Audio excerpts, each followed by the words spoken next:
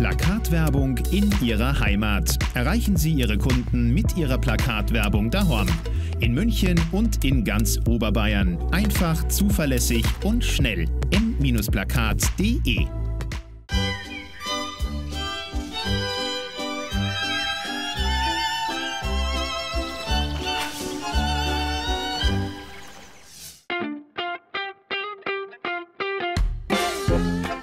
sind 30 Kilometer nordöstlich von München in der Stadt Erding. Zentrum im Herzen der Altstadt ist der Schrannenplatz. Sein Name weist auf die große Tradition im Getreidehandel hin.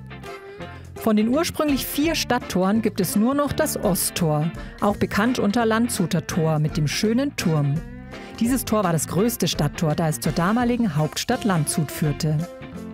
Wir haben unter anderem die Band D wieder besucht, waren im Atelier von Rudolf L. Reiter und in einer Schachtelwerkstatt. Liebe Zuschauerinnen und Zuschauer, wir sind hier in der Erdinger Altstadt unterwegs, genauer gesagt in der Pfändnergasse und ich bin auf der Suche nach Honig. Und hier lese ich schon, Honig aus dem Erdinger Land. Da schaue ich jetzt mal rein. Ja, da ist er ja, der gute Honig. Hallo Claudia. Hallo. Das hier ist also dein Laden. Ja, Seit wann hast du den Laden hier? seit 2015. Ja, okay, also noch gar nicht so lange, fünf Jahre. Richtig, ja. Und bist du so eine echte Erdingerin? Nein, ich komme von der holländischen Grenze, also vom Niederrhein und bin äh, sukzessive nach und nach Richtung Süden gegangen. Okay, bis du hier in Erding mitten in der Altstadt gelandet bist. Genau, ja, richtig. Okay, und aber war das schon immer ein Traum von dir? Da hattest du vorher schon so einen Tee-Heilkräuterladen? Wie kam es dazu? Es kam eigentlich dazu, ich habe das gelernt, ich komme äh, ursprünglich aus der Apotheke. Also hast du in der Apotheke gearbeitet? In auch der und so? Apotheke Mhm. habe ich gearbeitet. Ähm, was toll war, mein Chef damals, der war für die Phytotherapie wie auch äh, die Schulmedizin, also auch die.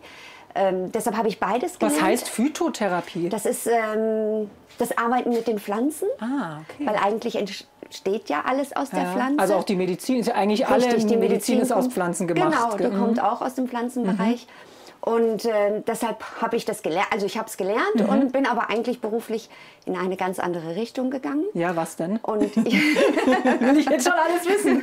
ähm, ich war Personalleiterin, ähm, mehr im kaufmännischen Mhm. Bereich, also Bürotätigkeiten und habe mich aber dafür entschlossen, äh, vor fünf Jahren, dass ich doch irgendwas anderes Spannendes noch machen möchte. Mhm. Und habe gesagt, okay, ich mache mich selbstständig.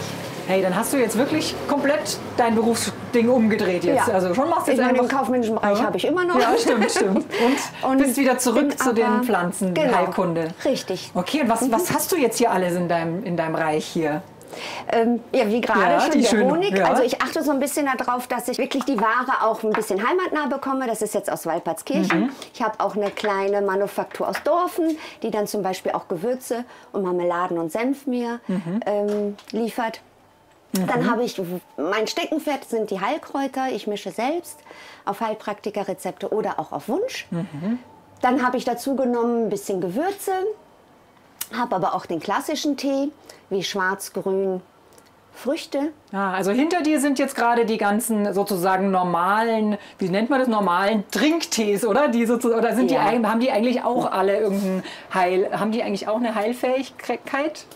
Es ist mehr Wahrscheinlich der im- Geschmackstee, Ja. wobei natürlich auch ein Schwarztee, ein Grüntee eine Heilwirkung Schon, gell? haben. Ja. Eigentlich ja jede Pflanze wahrscheinlich dann, wenn man Richtig. genau ist, oder? Ja. Und zeig mal, was hast du denn da so? Ich, ich schaue da immer so gerne rein. Hast du irgendeinen mit Einen vielen... spannenden? Oder ja, so mit Blüten oder sowas. Nehmen wir doch mal die Sonnenblüte. Ja, die schauen doch immer, dann kann man so schön reinschnuppern.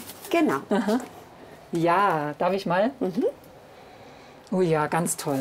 Mhm, riecht sehr gut. Nach Orange oder Zitrone, Pfirsich oder sowas. Richtig. Mhm. Da sind, ähm, also das ist jetzt ein Schwarztee. Da sind Blüten und Früchte auch mit dabei. Sehr Mhm. beliebt. Schon, ja. Aha. Aha. Ja, okay. Dann schauen wir jetzt auch mal auf die andere Seite zu deinen Genau, Heilkräutern. Das, das sind die Heilkräuter. Richtig. Ah, die Baldrianwurzel, zeig Ja. mal. Ich will mal sehen, wie sowas aussieht. So. so. Gerne. Also das wird jetzt nicht so ein toller Duft wie Nicht? bei den anderen Ach Duften. so. Gerne. Oh, Ja. naja. Ach wohl, nee, nee, nee, nee. Ist schon, ist schon Also das ist jetzt die Wurzel. nicht so schlecht. Aha. Ähm, Für was ist Baldrian gut? genau, also Baldrian beruhigt unheimlich. Mhm. Ähm, Baldrian mische ich zum Beispiel jetzt auch in den Schlaftee gegen Schlafstörungen. Okay, also du machst wirklich eigene Mischungen. Also es kommen Kunden, die dann sagen, oh, ich schlafe so schlecht zur Zeit, hast du nicht irgendwas, oder? Genau, so richtig. Also ich habe über 300 Einzelkräuter und aus diesen Einzelkräutern mische ich dann auch meine Zeig mal so eine Mischung. Wie sieht das dann aus? Die, zum Beispiel jetzt dieser Schlaftee. Dieser Schlaftee. Ja, die goldene Mitte hast du den genannt, oder? Richtig. Findest du da Namen ja. dafür? Das ist jetzt ein Schlaftee, da ist ah. der Hopfen mit dabei. Der beruhigt, mm. die Melisse, der Baldrian. Schön sieht es aus. Ja, es sieht immer so schön aus, finde ich. Mhm. Ganz toll. Was hast du denn da noch so an, an Mischungen? Also das heißt, du hast deine Erfahrung, ich meine, das kann man wahrscheinlich in Büchern natürlich lernen, welche Kräuter für was stehen und gut sind. Und dann hast du aber damit das weiterentwickelt auch für dich, oder? Genau. Also letztes Jahr ähm, bin ich dann nochmal zur Schule gegangen, weil ich sage immer, die komplementäre Heilkunde ist das, was wir mhm. brauchen. Mhm. Nicht nur die Heilkräuter, das klassische Beinbruch. Das kann ich nicht mit Kräuterchen mhm. irgendwie mhm. wieder heil machen. Heil machen. Ähm, aber ich könnte im Nachhinein mit Kräuterchen zur Genesung beitragen. Ja, okay. Was, was hättest du jetzt da zum Beispiel? Hast du da auch was? also bei den, ja? jetzt speziell ja? steht da da nicht, aber natürlich gibt es, äh, um auch die Knochen ein bisschen zu stärken, ganz klassisch Kieselerde. Mhm. Das ist aber auch der Schachtelhalm, mhm. wo ganz viel Kieselerde auch mit dabei ist. Und wie, wie sieht Kieselerde eigentlich aus? Kieselerde. Also das ist ein Pulver. Ach so ist das. Okay. Ganz weiß. Hey, ah ja, ein bisschen okay. wie Mehl. Das ja, ist das ist Kieselerde. Mhm, mhm. Also nicht, nicht braune Erde, wie man denkt, sondern eben Kiesel eher weiß, ja, oder so. Mhm, genau, richtig. oder so. Ja. Verstehe. Und das ist super für die Knochen, fürs Bindegewebe, für die Haare, für die Zähne. Aha. Und sowas sagst du dann, nimmst löffelweise, oder wie? Genau, ja. richtig. Ah, zum ja. Essen dazu. Zum Beispiel einen halben Teelöffel am Tag. Mhm. Stärkt mhm. also komplett auch schon den Körper. Also du kennst dich wirklich aus. Und hier hinter dir, was sind das in den schwarzen? Das sind alles Gewürze. Gewürze Einzelgewürze. Mhm. Die natürlich auch wahrscheinlich in deine Heilkräutertees Teilweise sind, schon. Ja. Ganz klassisch Kurkuma. Mmh, ähm, gemahlen, das kennt man ja so schön gelb. Ist, ja. Genau, ist zurzeit oder schon längere ja. Zeit dieses Superfood. Mhm. Ähm, das Was? kommt mit in die Tees. Ja. Aber auch Petersilienblätter. Okay, was war genau? Boxhornkleesamen, ganz toll für ähm, Stilltees. Mhm, stimmt, ja, habe schon mal gehört. ja, ganz toll. Und was, was sind das hier für alte Fotos hier? Ja, das sind äh, meine Oma und mein Opa. Wirklich? Meiner, ja. Welch, wo? Das ist meine Oma und das ist mein Opa mit meiner Urgroßoma. Und das ist also dann meine Oma ist dieses kleine Mädchen. Ach, das ist ja herrlich. Ihre zwei Brüder. Mhm. Und das ist meine Urgroßoma, die dort steht. Und die hatten auch so einen Laden wie du. Das ja. sieht ja wirklich so aus, als wäre es fast hier. Richtig. Ist aber nicht, oder? Nee. Das ist in Duisburg. Aha. Ja, meine ähm, Großeltern hatten auch so ein Kolonial. Ui, dann bist du der Tradition deiner Familie treu Eigentlich geblieben. schon, ja. Sehr schön. Ja. Und jetzt, jetzt möchte ich mal, dass wir zusammen einen Tee mischen, ja? Mhm, Aber dann machen wir erst, liebe Zuschauerinnen und Zuschauer, eine kurze Unterbrechung. Plakatwerbung in Ihrer Heimat. Erreichen Sie Ihre Kunden mit Ihrer Plakatwerbung daheim. In München und in ganz Oberbayern. Einfach, zuverlässig und schnell. m-plakat.de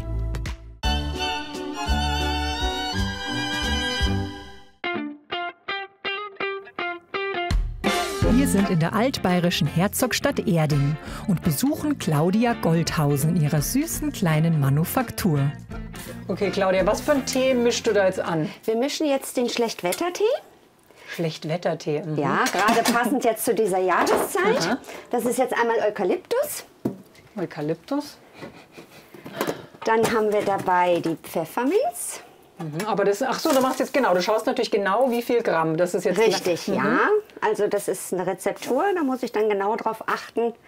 Deswegen wiegst du das da jetzt. Ja. Mhm. Da kommt jetzt mehr Pfefferminz als Eukalyptus rein. Ja, doppelt so viel oder dreimal so viel oder sowas, oder? Nein, hm? nee? der Eukalyptus ist schwerer. Ah, okay. Deshalb ist der Pfefferminz jetzt, sieht es in der Menge ja, sah mehr so aus. Okay, ist aber genau. gar nicht. Mhm. Und was kommt noch dazu? Dann haben wir einmal das Lungenkraut. Lungenkraut. Mhm. Ist das auch gut für die Lunge? Das ist gut für die Lunge. Mhm. Da kann man auch von ausgehen, die meisten. Mhm, jetzt kommt noch mal jemand. Wir wollen mal schnell noch den Tee zu fertig mischen.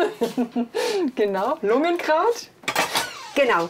Ähm, man kann es auch teilweise wirklich abwandeln. Mhm. Blumenkraut. Wenn es so heiß, dann ist es auch gut für, für die Lunge. Lunge. Mhm. Genau. Dann haben wir die Königskerze. Sind es diese schönen Blüten? König, ja. ja genau. Mhm. Ui, ja, die sieht interessant da aus. Da freut man sich immer, wenn man Ganz sie schön. im Garten hat. Und ist, was hat die für Heul Heilkräfte? Nicht Heulheilkräfte? ähm, speziell auch Bronchien, Lunge. Ah, ähm, sie legt sich ganz fein auch drauf. Das, ähm, das sind Schleimstoffe mhm. auch. Ähm, mhm. Falls man ein bisschen Husten hat mhm. oder Bronchitis oder so, das Abhusten wird leichter. Okay, Königskerzen. Mhm. Und dann noch eine Zutat. Dann haben wir den Spitzwegerich. Spitzwegerich, wie sieht denn der aus? Mhm. Okay, wie viel Gramm hast du jetzt da angemischt? Insgesamt? Das können wir gleich. das steht da noch gar nicht. Genau. Und was noch ganz Ui. nett ist, genau, die ja. Rose Schau natürlich auch. Ist ja auch so ein bisschen fürs Auge dann, oder? Wenn so ein Tee schön aussieht. Richtig. Und bist du dann gar kein Kaffeetrinker, nur, nur Teetrinker? Ich oder? trinke beides. Beides. Mhm. Ich brauche den Kaffee morgens. Schon, schon. Ja. Also du bist nicht so die Oberverfechterin, dass man nur Tee trinken soll und Nein. Kaffee nicht gut ist. Nein. so, okay. Jetzt wird gemischt. Gemischt, okay. Ja, dann lassen wir dich jetzt erstmal mischen und hier noch den Kunden bedienen und dann probieren wir den Tee gleich, gell? Gerne. Also jetzt probieren wir mal den Schlechtwettertee. Mhm. Mhm. Wisst ihr, kann man den schon trinken oder zu heiß? Mmh. Ah ja, sehr gut. Ganz lecker. Mmh, mit der Pfefferminze. Mhm. Und sag mal, jetzt gerade so in der Lockdown-Zeit und Corona kommen dann viele, die auch fragen, was kann ich jetzt tun, dass mein Immunsystem gestärkt wird? Genau, ja, kommen ja, schon kommen, die, kommen viele, ja. Und hast du da einen Tipp? Ähm, Will ja. ich auch wissen. Also das Immunsystem, A, äh, Sport, Bewegung, frische Luft. Aber es gibt natürlich auch zum Beispiel das Gerstengras, was mhm. ganz gut ist fürs Immunsystem. Das Hagebuttenpulver ist ganz gut fürs Immunsystem. Es gibt aber auch den einjährigen Beifuß. Mhm. Ähm, das ist ein Tee, also das sind Pulver, die man sich halt irgendwo in Smoothies mit ah. einarbeitet. Ähm, mhm. Der einjährige Beifuß ist also ein Tee, äh, der einen Nobelpreis auch hat mhm. ähm, gegen Krebs und Malaria. Tatsächlich. Ähm, wirkt bei Bakterien und Viren. Und da kann man natürlich viel vorbeugen. Wow. Ne? Eine Tasse mhm. am Tag. Mhm. Okay, danke. Ja. Danke für die Tipps. Und, und schön, da habe ich wieder viel gelernt hier mit deinen Kräutern. Und liebe Zuschauerinnen und Zuschauer, damit verabschieden wir uns von Ihnen. Hier, der, der Rudi, unser Kameramann, kriegt jetzt den Tee noch und machen sich auch mal wieder einen leckeren Tee. Wiederschauen.